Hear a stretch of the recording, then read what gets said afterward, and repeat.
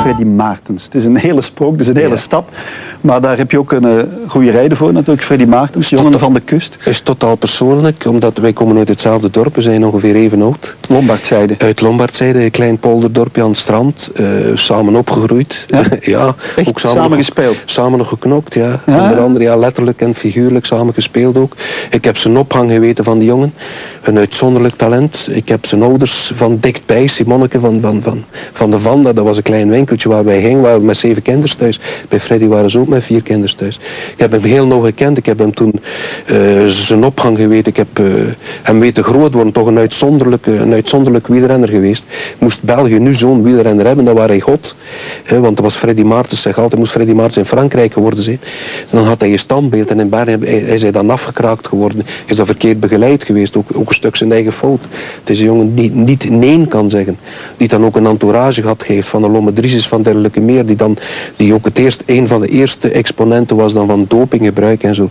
En, en daar een beetje slachtoffer van geweest is. En toch, ik heb hem nu nog onlangs gezien.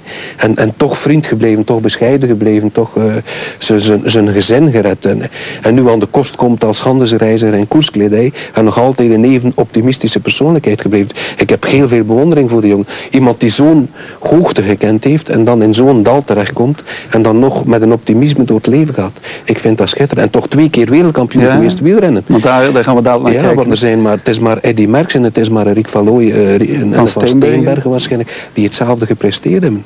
Ja. En ja, ik, ik heb heel veel bewondering voor die jongen. En dan, dan dat hij sociaal in zo'n zwart gat gevallen is. En ik vind dat jammer. Ja. Wij gaan, het is een exponent van, van gebrek aan respect voor ons verdetten.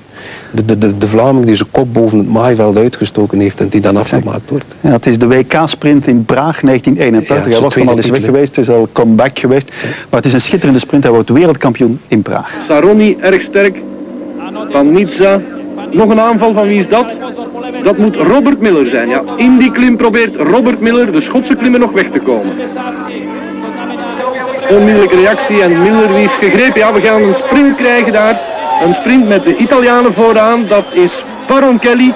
Baron Kelly, waar zit Saroni aan zijn wiel? Baron Kelly met Saroni en gaat nu. Het is nog ver. Maarten zit er ook. Duclos, Lassalle, de Fransman. Wie gaat het? Saroni gaat het halen. Saroni met duidelijk verschil daar. Nee, daar komt Maartens nog. Maartens na Saroni. Gaat hij er voorbij geraken? Maartens na Saroni en Maartens is wereldkampioen. Ongelooflijk ook.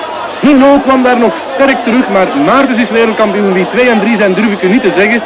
Bernard Hinault zien we daar nu links komen en dan is het uitkijken dat Maartens niet wordt ingesloten. Bekijk dat goed, komt op het goede moment. Kijk, voor Hinault uit komt nu na Saroni dan een paar van die machtige lendenrukken van hem die we eigenlijk al vergeten waren.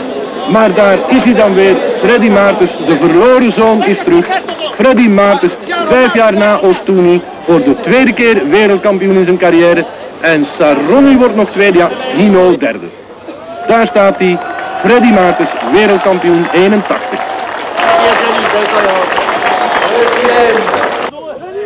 Ik heb mijn keuze gemaakt in de mensen en zeker en vast in de journalisten ook, excuseer uh, dat ik het zo moet zeggen. Ze staan er nu weer allemaal? Uh, wel ja, voor ik gezien heb is er nog geen enkele bij waar ik iets tegen heb. Maar uh, er zijn bepaalde journalisten die mij echt enorm zeer gedaan hebben. Dus niet alleen spreek ik niet ten opzichte van uh, op het vlak van mijn beroep. Maar wel op het, uh, op het vlak van mijn privéleven. Dat ze mij daar enorm, uh, ja, laten we zeggen, door de modder getrokken hebben. En dat heb ik natuurlijk heel, heel spijtig gevonden. Maar ja, kom, het leven gaat verder en ja, kom, we zullen zien. Hè. Ja, het leven ging verder. Het was wel het einde. Het was zijn laatste grote prestatie. Maar die verbittering ook. Hè. Ja, al uitspreekt. Hij was ook al afgeschreven vooraleer hij naar Praag ging. Hij mocht in principe niet gaan. En, en dan, ja, hij, hij, vecht zich toch een weg erdoor. En dan wint hij. Maar het was ook wel zijn zwanenzak. Dat was het ook definitief gedaan. Ja, hij heeft problemen gehad met de reconversie. We gaan naar een atleet, een judoka, die ook problemen gehad heeft met de reconversie. Maar er toch zeer goed boven.